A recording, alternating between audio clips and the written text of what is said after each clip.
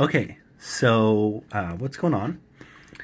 This is going to be a tutorial about um, how to find the discrete time Fourier transform of the delta function.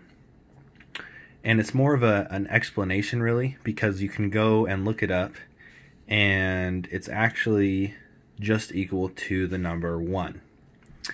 And how is this possible?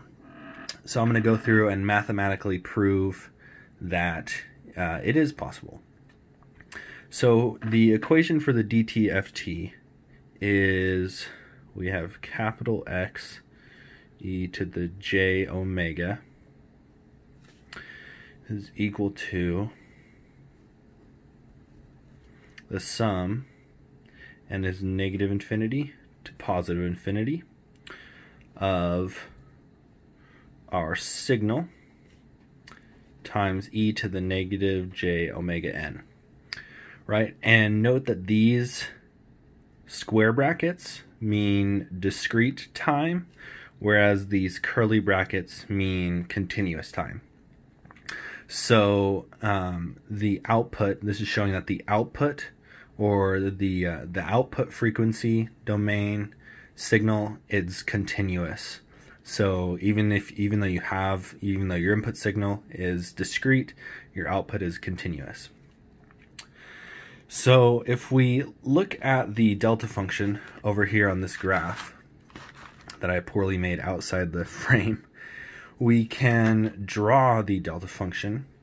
And if it's a non-shifted delta function, its value is only going to be greater than zero when n is equal to zero. So basically we can draw a line here and then it's just going to be 0 all the way to positive infinity and all the way to negative infinity. And that's a very poor drawing, but you get you get what I'm trying to say. So that is the delta function right? So if we are looking at, if we say, let's plug in our delta function for the DTFT.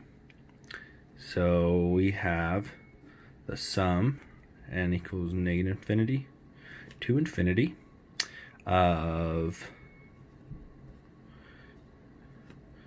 delta n e to the negative j omega n.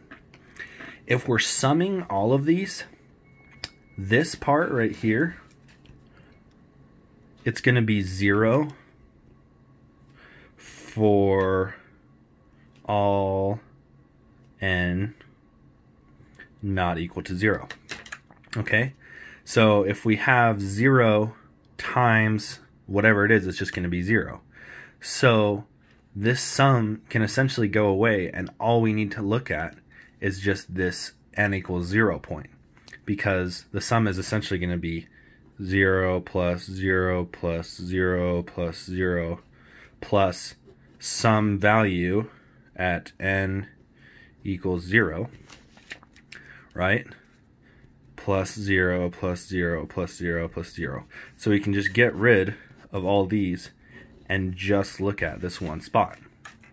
Okay, so if we do that, what we have is we have delta 0 times e to the negative j omega times 0. Sorry, my camera's shaking when I'm doing this, but um,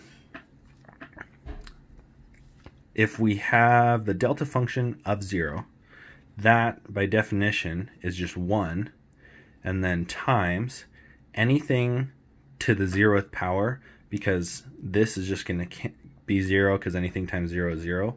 So we basically just have e to the 0, and that is 1 also. 1 times 1 is equal to 1, and that's our answer. So, yep. Thanks for watching.